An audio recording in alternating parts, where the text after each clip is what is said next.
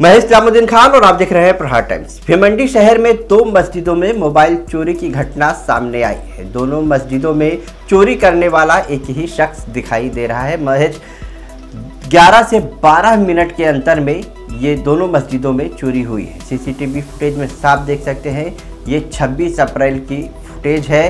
पहले ये चोर भिमंडी के क्वार्टर गेट जामा मस्जिद में दाखिल होता है और उस वक्त सुबह के दस बजकर तीन मिनट हो रहे थे।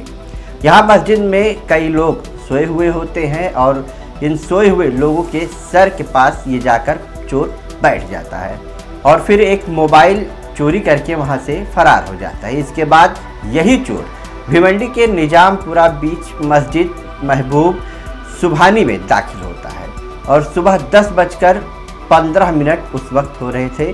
यहाँ भी लोग मस्जिद में सो रहे थे।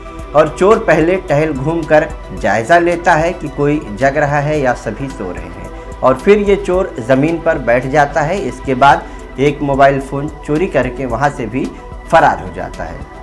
दो चोरी की वारदात वो भी मस्जिद में। महज 11 से 12 मिनट के अरक फरक में इस घटना को अंजाम चोर ने दिया है।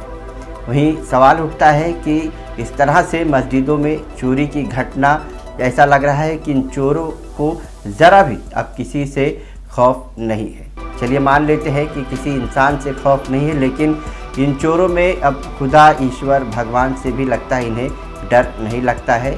जो धार्मिक स्थानों को भी ये चोर अब छोड़ नहीं रहे हैं और चोरी की घटना को अंजाम दे रहे हैं।